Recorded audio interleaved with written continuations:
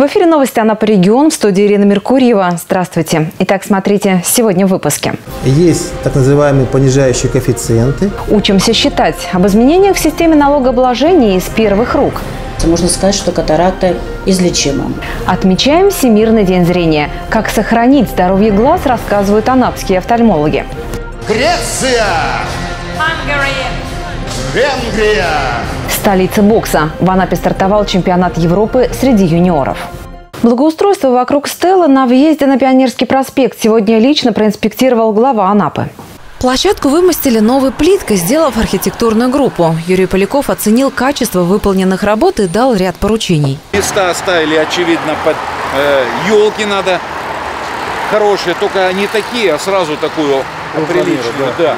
Понятно. Вот видите букву? Я думаю, надо дать поручение. Хорошая стела, она уже такая исторически сложившаяся у нас. Надо будет ее освежить, э, с, Обновим. обновить ее. И давайте продлим вот эту народную атропу нашу, которая идет к остановке. Потому что люди все равно идут по тротуару, и они прямо идут на остановку. Вот, а видите, вытоптано. Да, да, есть. Метровую там или такую же до столба вот ее сделать, а дорожку, все. И очень прошу, уделите внимание в плане безопасности по ограждению. Следующая остановка на Пионерском проспекте. Главная магистраль курорта, по мнению Юрия Полякова, должна быть в идеальном состоянии. То же касается и благоустройства вокруг. Особое внимание к проходам к морю. Когда появятся арки, у нас будет другое мышление благоустройства этих территорий. То есть займемся плотно проходами. Проходы – это те места, где ходят люди. Сегодня проводятся рабочие встречи с руководителями здравниц. Намечены планы благоустройства и строительства новых арок на проходах к морю. Также глава Анапы обратил внимание на ночное освещение Пионерского проспекта. Юрий Поляков дал поручение. Будем усиливать здесь декоративную подсветку. У людей, которые к нам приезжают, должно быть ощущение праздника. Сегодня отмечается Всемирный день зрения. О том, как сохранить здоровье глаз на долгие годы и о нелегкой, но такой важной работе анапских офтальмологов в сюжете.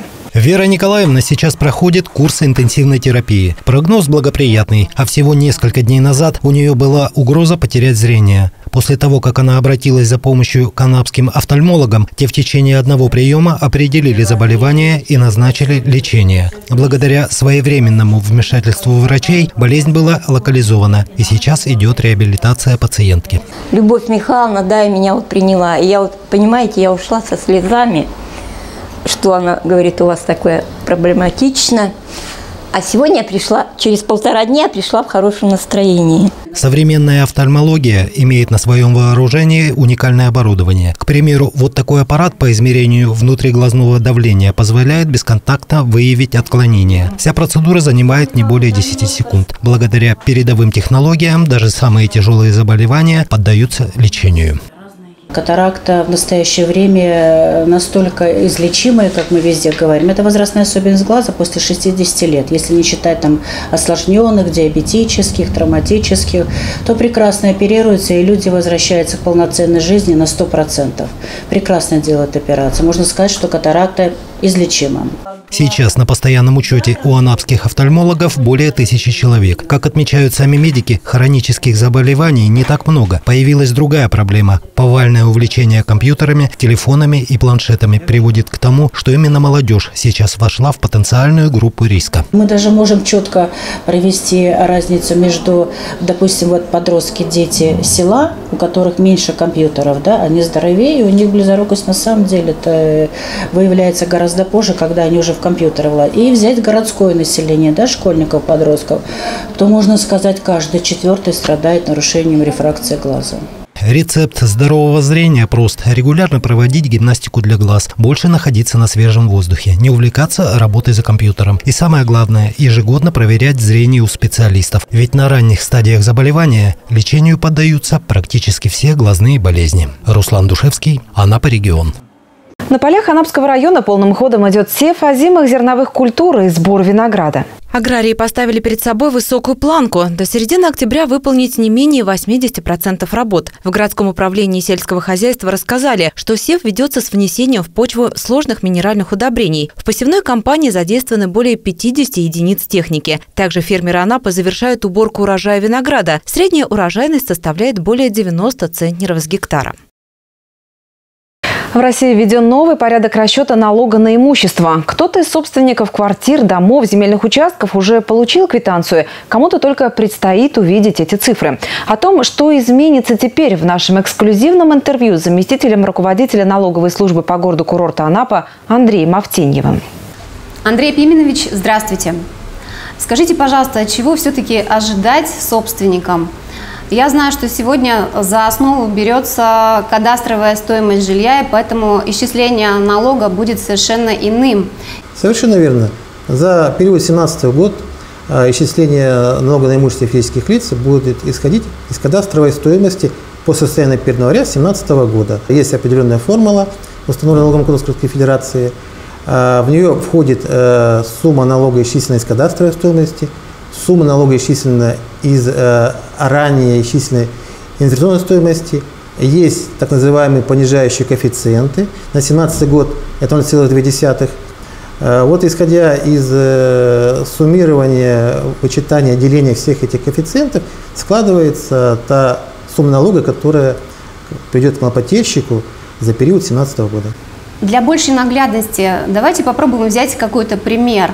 Вопрос, конечно, немножко индивидуальный, потому что, исходя из технических характеристик объекта и так далее, в каждом случае эта стоимость будет, естественно, и сумма к уплате разная. Но если взять э, ну, такой пример, скажем так, э, например, квартира 78 квадратных метров, э, кадастровая стоимость 4 миллиона 107 тысяч рублей, вычитается установленный вычет 20 квадратных метров, э, исходя из того, что ранее за 2016 год сумма налога к уплате, исходя из инвестиционной стоимости, была 914 рублей, э, сумма налога составит за 2017 год 1342 рубля. Есть такое понятие, как налоговые вычеты. Кому они положены? Они полагаются любому собственнику объекта недвижимости. Э, значит, если их разделить на критерии, 10 квадратных метров – стоимость э, кадастровая вычитается в отношении комнаты, э, стоимость 20 квадратных э, метров вычитается из стоимости квартиры, и стоимость 50 квадратных метров вычитается из стоимости жилого дома.